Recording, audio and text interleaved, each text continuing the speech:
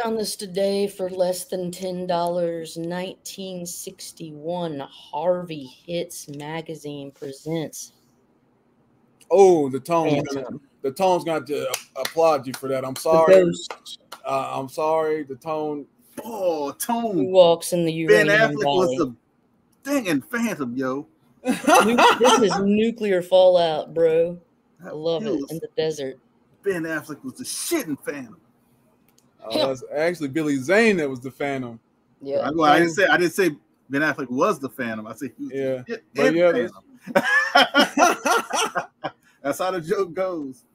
But Billy Zane Alright. was like, like, like he did the Phantom, and, and that was it. Let's get the votes. oh, man. is that the first time we've seen a Phantom book on it? No, I got that one signed by Billy Zane. Don't make Oh, me go yeah, get yeah, it. Don't make me- Yeah, yeah, we ain't talking about that. though. We ain't talking no, about no, no, no.